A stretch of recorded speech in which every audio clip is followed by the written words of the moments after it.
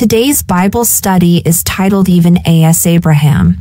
As we discussed in our last installment, Paul spoke of the sign gifts that the Galatian believers had been empowered to demonstrate because Jews require a sign, 1 Corinthians 1 verse 22 and then to reinforce that the obedience of faith in the gospel of the kingdom, much less that of the gospel of grace, namely works of the law, circumcision, water baptism, and obeying the Mosaic law, was not now, at the time of Paul's writing, how the gift of the Spirit was received, stating he therefore that ministereth to you the Spirit, and worketh miracles among you, doeth he it by the works of the law, or by the hearing of faith. Galatians 3 verse 5.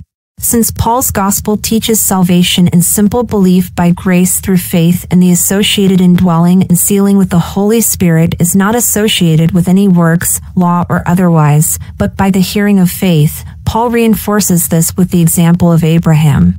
Even as Abraham believed God, and it was accounted to him for righteousness. Know ye therefore that they which are of faith, the same are the children of Abraham.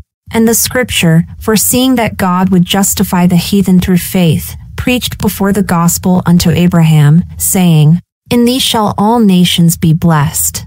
So, then they which be of faith are blessed with faithful Abraham. Galatians 3 verses 6 to 9. Let's dig into this. So, Paul here uses the example of Abraham as father of all them that believe, Romans 4 verse 11, showing the pathway by which even as Abraham believed God, and it was accounted to him for righteousness. Galatians 3 verse 6. And thereby, Paul notes that the Galatian believers, and us, should know ye therefore that they which are of faith, the some are the children of Abraham. Galatians 3 verse 7.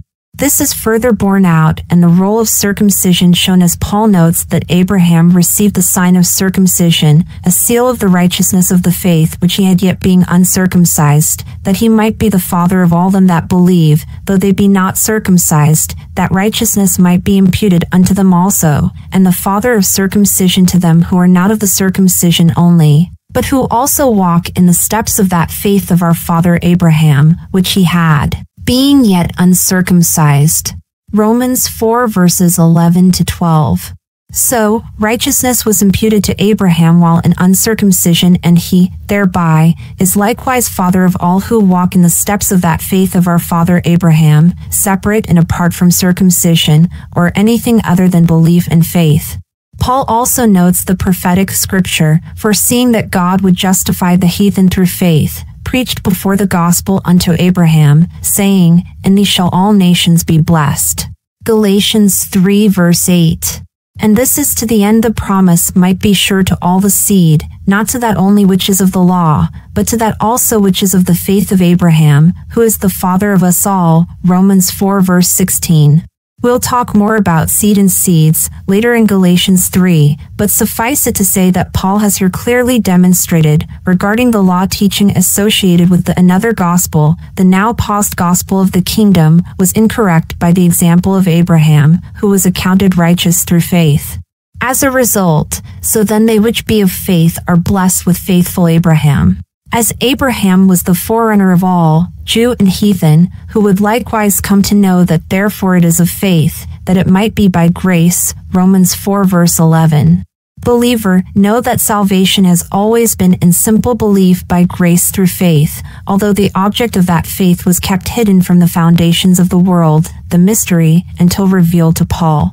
Also, it helps to understand that obedience of faith, before the revelation of the mystery, differed dispensationally. Thank you for listening to today's Bible study.